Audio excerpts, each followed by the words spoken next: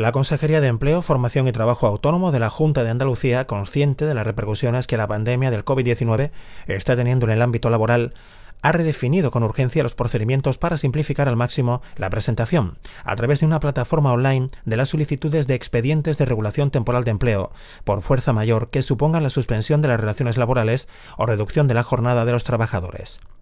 De este modo, la Consejería de Empleo facilita la tramitación de los expedientes presentados por los centros de trabajo pertenecientes a los sectores incluidos en el Real Decreto por el que se declara el estado de alarma para combatir el coronavirus.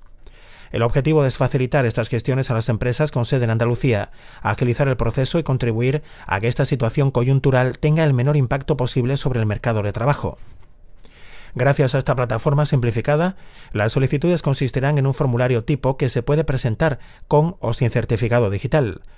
La documentación que es necesaria adjuntar queda recogida en una sencilla guía accesible desde la web y consiste básicamente en documentación que acredite la actividad de la empresa, inscripción a la seguridad social del código de cuenta de cotización de los trabajadores afectados,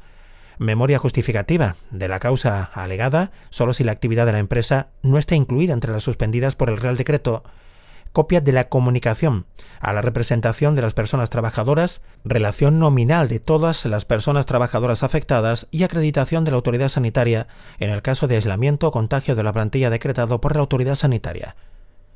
Una vez admitida la solicitud que se presente por esta vía, la autoridad laboral podrá pedir informe a la Inspección de Trabajo y Seguridad Social, que se emitirá en el plazo de cinco días.